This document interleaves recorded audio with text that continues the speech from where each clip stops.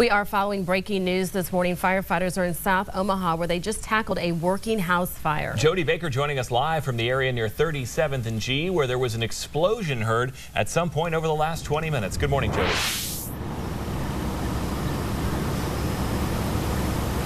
We're at 37th and G, where Omaha firefighters are dealing with their second house explosion in just three days' time. Joining us now is Battalion Chief Troy Brandon to explain what just happened here this morning. Uh, what can you tell us? Uh, right before 6 o'clock, we were dispatched to a house fire um, around 42nd. We had some more calls come in, got a better address, and when we came on location, the first crew had realized that this was an explosion. Uh, the structure was actually not on fire. All the damage was caused by the natural gas.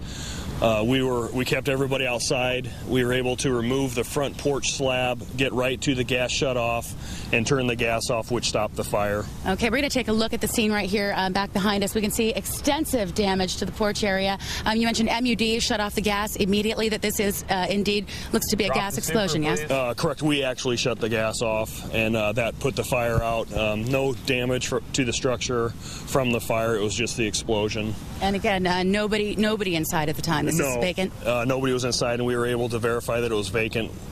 Uh, just sent two guys in to do a, a search, and they they stayed along the middle beam where it was safe. Now, The call just coming in just before six. You guys really got this under control uh, quickly, but it's a dangerous situation, right? Absolutely. Yeah, I was worried about uh, any of the guys going in, so we decided to keep everybody outside.